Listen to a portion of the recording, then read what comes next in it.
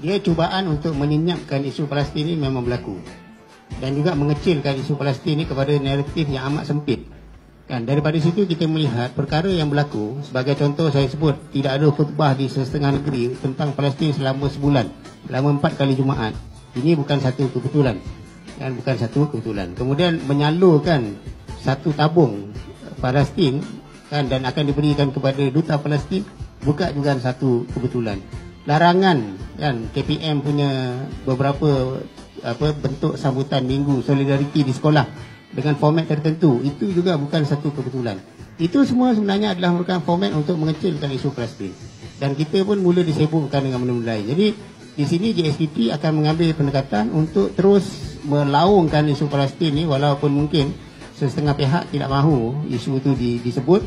Jadi ini antara lain tujuan uh, media ni sidang media ni adalah untuk supaya isu Palestin ini tidak mati.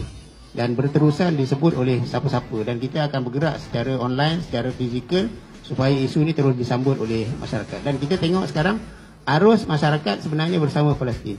Di mana-mana tempat yang kita turun orang menangis disebabkan oleh kerana isu Palestin. Nah, jadi sepatutnya kerajaan dia mengambil uh, pendekatan untuk menyokong apa yang dikehendaki oleh rakyat bukan melawan rakyat jadi sekarang ni kalau kerajaan nak matikan isu Palestin sebenarnya kerajaan kasar punya istilah gali kubur dia sendiri lah. Kan? Sebab rakyat akan tolak dia.